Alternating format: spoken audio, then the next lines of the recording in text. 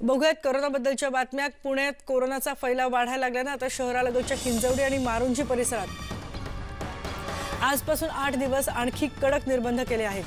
नऊ जुलै ते सोळा जुलै दरम्यान केवळ दूध मेडिकल आणि दवाखानेच सुरू असेल आणि या भागातल्या आय टी कंपन्यांना मात्र सूट देण्यात आली आहे. तसंच हवेली तालुक्यातल्या नांदेडगाव खडकवासला क्रिकेटवाडी नरेगाव मांजरी मांजरी पिसोळी वाघोली कुंजीरवाडी या भागात सगळे भाग हे प्रतिबंधित क्षेत्र म्हणून घोषित करण्यात आले.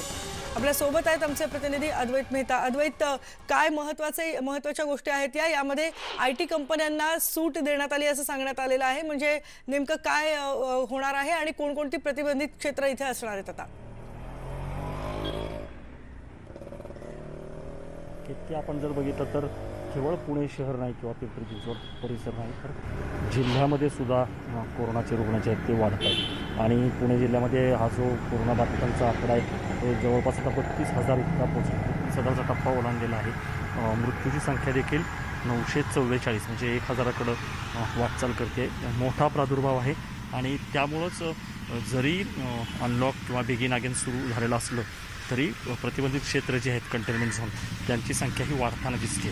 आणि त्याचाच परिणाम म्हणून आपण जर बघितलं तर मारुंजी किंवा हिंजवडी माण हा जो सगळा परिसर आहे तिथं आजपासून पुढचे सात दिवस केवळ अत्यावश्यक सुविधा ज्याला म्हणतो आपण मेडिकल दूध किंवा दवाखाने हेच उघडे राहणार आहेत. पण आपल्याला माहिती आहे की या ठिकाणी इन्फोटेक पार्क किंवा आय टी पार्क आहेत.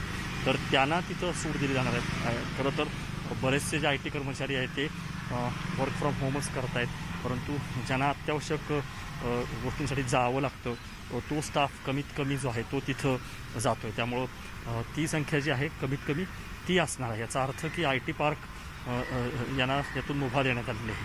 दुसरीकडे जर आपण बघितलं तर लोणीकार लोणीका लोणीकापूर किंवा उरुळी कांचन मांजरी पिसोळी इकडचा जो भाग आहे तो सुद्धा प्रतिबंधित क्षेत्र म्हणून घोषित करण्यात आलेला आहे. अगदी वाघोळी असेल किंवा कुंजीरवाडी कदमाक वस्ती हा सगळा भाग कारण तिथे देखील फैलाव जो आहे तो वाढताना दिसतो आहे त्यामुळे एकूणच पुणे शहरामध्ये किंवा जिल्ह्यामध्ये उद्योग जरी सुरू असले कारण हा सगळा इंडस्ट्रीयल बेल्ट आहे तरी त्यासोबत रुग्णांची संख्या जी आहे ती वाढताना दिसते त्यामुळं अशा पद्धतीनं प्रतिबंध जे आहेत लॉकडाऊनच्या काळातले ते आता बघायला मिळत आहेत कारण आकडा जो आहे तो वाढत चाललेला आहे टेस्टची संख्या जी आहे ती देखील आता वाढत चाललेली आहे. अँटीजन टेस्ट ज्या आहेत त्या सुरू झालेल्या आहेत. आपण जर बघितलं तर गेल्या काही दिवसामध्ये हे जे आकडे वाढताना दिसत आहेत त्याचं एक महत्त्वाचं कारण म्हणजे हे आहे की चाचण्यांची संख्या जी आहे ती आता वाढत चाललेली आहे. म्हणजे पूर्वीच्या तुलनेमध्ये खूप मोठ्या संख्येने चाचण्या होत आहेत.